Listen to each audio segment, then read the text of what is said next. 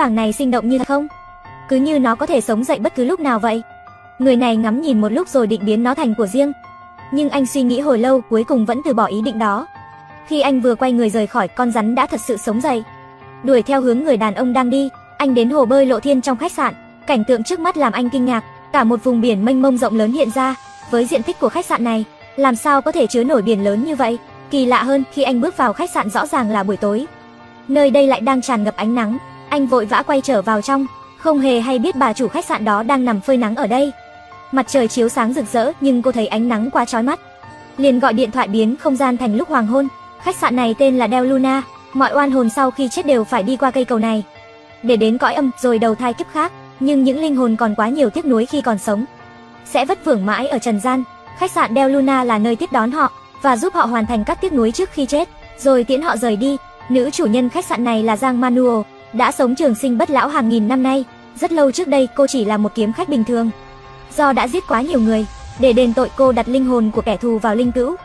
Đi tìm một nhà trọ cho phép linh hồn được dừng chân nghỉ ngơi. Manuel nghe một bà lão nói, nơi mà cô đang tìm kiếm tên là khách sạn Ánh Trăng. Nhưng chỗ đó chỉ độ ma không độ người. Manuel toan lấy kiếm tự sát, không ngờ đúng lúc đó kẻ thù của cô kéo tới. Theo phản xạ cô lại cầm kiếm lên ứng chiến, nhưng khi bọn họ xông về phía cô, đều lập tức hóa thành làn khói xanh, thì ra họ đều là người đã chết dưới tay cô, lúc này họ chỉ còn là những linh hồn. Manuel nhận thấy nghiệp của mình quá nặng không thể bù đắp. Khi cô đang trầm ngâm suy nghĩ, thì cảm thấy sau lưng có người định đánh lén, liền quay lại đâm. Nhưng đó chỉ là một cái cây khô, bỗng cô nhận ra chiếc kiếm có khắc tên mình đã dính đầy máu tươi. Một việc kỳ lạ khác tiếp tục xảy đến, cho dù cô có cố gắng rút thế nào, thanh bảo kiếm cũng không hề nhúc nhích, thậm chí còn bị chiếc cây nuốt vào. Nó dùng các cành cây của mình để dựng lên một căn nhà trọ. Chính là khách sạn Del Luna hiện giờ. Bà lão khi nãy chính là chủ nhân trước của khách sạn Thần Mago.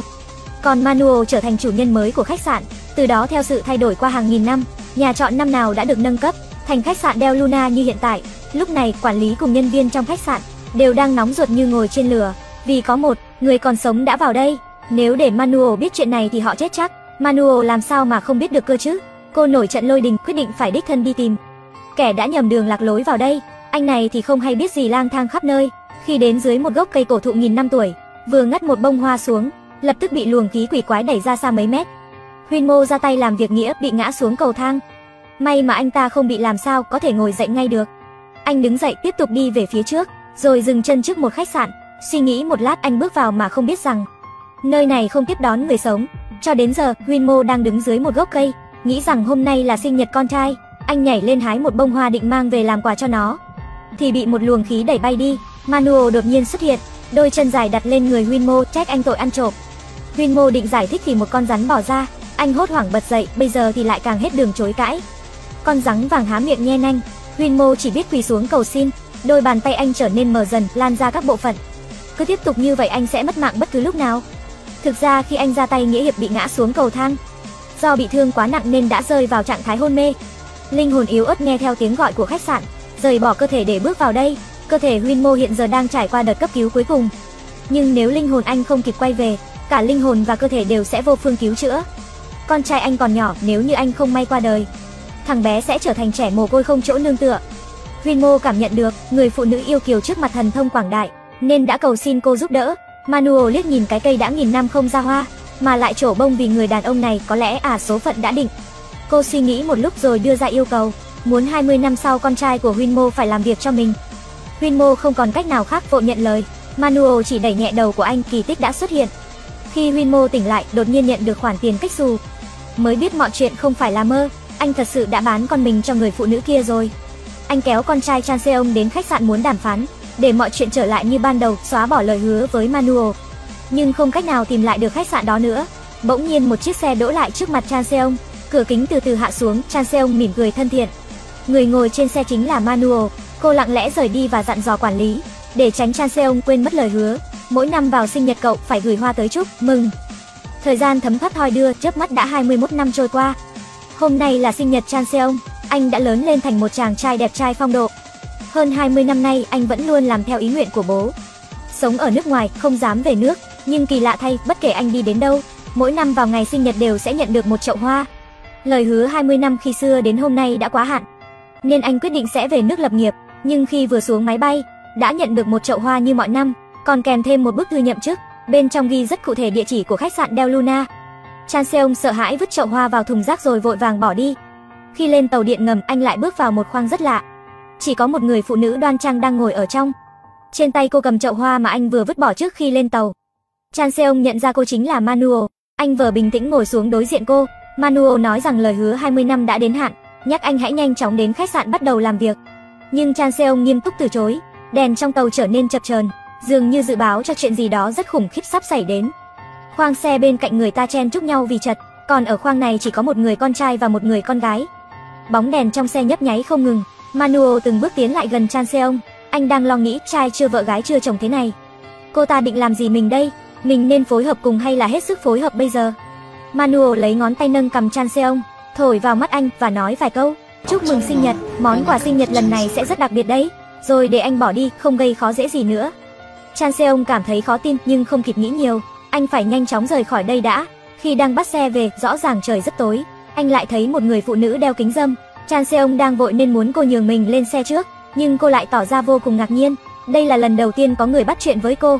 Khi cô gái tháo kính dâm xuống, có mắt không tròng. Cô gái này không phải người sống mà là một linh hồn vất vưởng. Món quà mà Manuel tặng anh chính là đôi mắt âm dương. Bây giờ Chan Seong có thể thấy thứ mà người khác không thể thấy. Cô gái kia tiến lại gần anh, anh chàng nhát như thỏ đế liền vắt chân lên cổ chạy. Lúc anh tưởng rằng đã an toàn, cô gái đeo kính dâm lại xuất hiện. Dọa nạt anh rằng sẽ tháo kính xuống. Bỗng nhiên một bàn tay bịt miệng Chan Seong lại. Cô gái kia không nghe thấy tiếng động, không biết mục tiêu đang ở đâu, quay người bỏ đi. Vừa giải quyết được một mối nguy, họ lại đụng phải một ông lão kỳ dị khác. Ông ta nhận ra Manuel chính là kẻ đã nổ súng ngày hôm đó.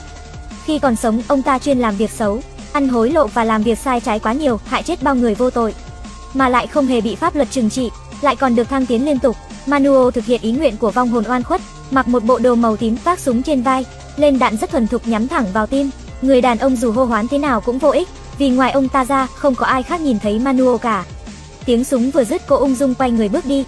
Tuy ông ta không chết ngay tại chỗ, nhưng từ đó ông ta luôn chìm trong sự ám ảnh của oan hồn. Chớp mắt chuyện xảy ra hôm đó đã không còn ai nhớ tới.